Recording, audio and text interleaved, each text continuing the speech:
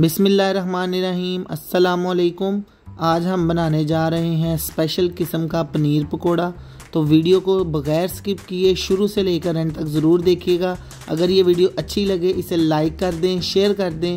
और अगर आपने हमारा चैनल अभी तक सब्सक्राइब नहीं किया इसे सब्सक्राइब करके बेल के आइकन को दबा दें, ताकि नई आने वाली वीडियो का नोटिफिकेशन हमेशा की तरह आपको मिलता रहे। ये सबसे पहले हमने पनीर ली है कॉटेज चीज़ इसे बोलते हैं। ये किसी भी बड़े सुपर स्टोर से इजीली मिल जाती है। और ये हमने ली है तकरीबन 300 ग्राम। अब हम इसमें डालेंगे बेसन। ये बेसन हमने बना बनाया है, जिसमें सारे मसाले मिक्स होते हैं। तकरीबन दो टेबल स्पून जाएगा इसमें। इसमें क्या क्या चीज़ें शामिल हैं? इसमें शामिल है बेसन है, मुरमुरे हैं, नमक, सुरख मिर्च, सफ़ेद ज़ीरा, धनिया, अदरक, लहसुन पाउडर, अजवाइन और मेथी। इसके अलावा इसमें मिर्च बल्कि बिल्कुल मुनासिब सी होती है। आपने थोड़ी सी आधा टी स्पून डाल लेनी है और थोड़ा सा नमक डाल लेना अब हम इसको हल्का हल्के हाथ से मिक्स कर लेंगे। मिक्स आपने हाथ से इसको करना है। चम्मच से नहीं करना, चम्मच से करेंगे तो ये टूट जाएगी। ये हमने इसको अच्छी तरह मिक्स कर लिया है। अब हम इसको फ्राई करेंगे। ये हमने एक फ्राई पैन में ऑयल गर्म होने के लिए रख दिया था। अब वन बाय वन करके इसमें वो मैरिनेटेड हम अपने कॉटी चीज़ के टुकड़े डालेंगे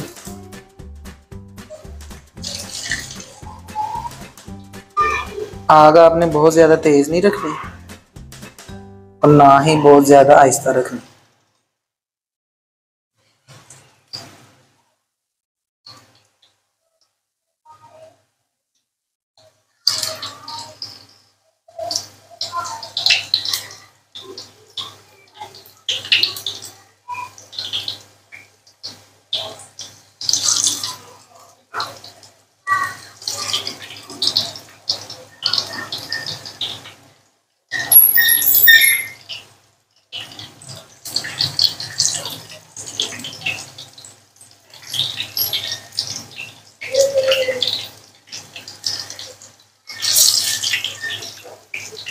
वन बाय वन करके हमने सारे टुकड़े डाल लिए थे। अब हम इसको दो मिनट बाद रुख चेंज कर देंगे।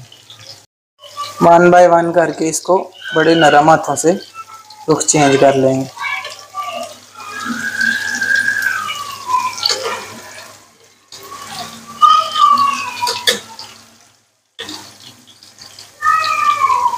माशाल्लाह माशाल्लाह, बहुत ही अच्छा कलर आया है। सारे हमने जो पनीर के टुकड़े थे, उनका रुख चेंज कर लिए। तो बहुत ही खूबसूरत कलर आया है। इसे दो से चार मिनट के लिए और पकाएँगे। तो जिस तरह ही ये दूसरी साइड से भी ब्राउन हो जाए तो फिर हम आपको इसको डिश आउट करके दिखाएँगे। दोनों साइड से ये ब्राउन हो चुके हुए हैं। तो अब हम इसको प्यारी सी डिश में निकाल लेंगे। ये देखें। बहुत ही माशाल्लाह खूबसूरत कलर आया है। बिस्मिल्लाह रहमान